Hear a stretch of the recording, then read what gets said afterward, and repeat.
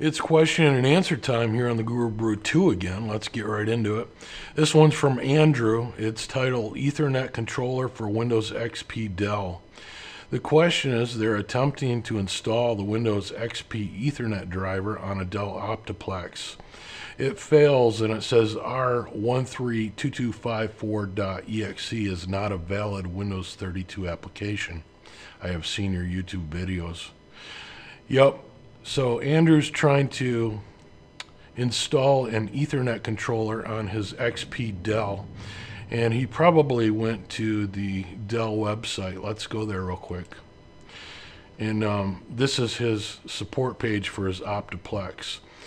And if you look down here, um, underneath networks, he's trying down he's trying to download this file right here and then install it, and then he's coming up with that uh, not a valid file error message. There's several reasons why you can get this not a valid Windows 32 application error. The first one would be the path. If you save to a path on your hard drive that contains spaces, such as my documents with a space, that may cause this error. Another problem may just be a corrupt file, and that happens from time to time. You know, if you download something from the internet, there's just a bad file up there. And I have downloaded this file, and I can tell you that's not your problem. It worked just fine for me. So let's get into a couple other reasons why. Another reason might be the download was incomplete, and for some reason it didn't finish, but it showed up on your on your file system. Then you clicked it, and it wasn't it wasn't all there, so it was incomplete chances are it was either incomplete or you have a space in your location.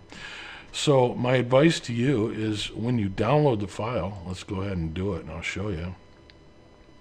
I'm going to save as rather than just letting it save wherever. I'm going to pick where I want it to save.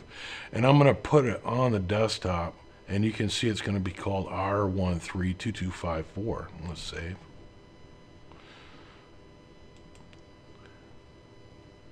And here it is here. And we can right click this and go to the properties.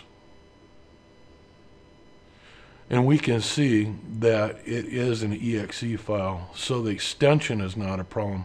Also, you know, if I had renamed this like uh, .pdf and save it like that, that will also cause this not to work. But you can see it is an exe file and it is on my desktop.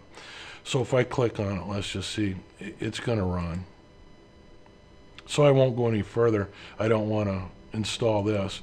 But if I had put this same file in my computer and perhaps recent places because it, it contains two words with a space, it might have, it may have been rejected, and I bet that's your problem. So redo the download and make sure that it's an exe file and be sure that its location contains no spaces. Now this problem has been worked out for Windows Vista and 7, but XP, it still has that problem. See all these uh, subdirectories that have these spaces? This is not an ideal place to locate this file when you're extracting it. So try that. I'm sure it'll work. Thank you for the question. I hope this video helped you out. If it did, please leave us a thumbs up and a comment if you wish.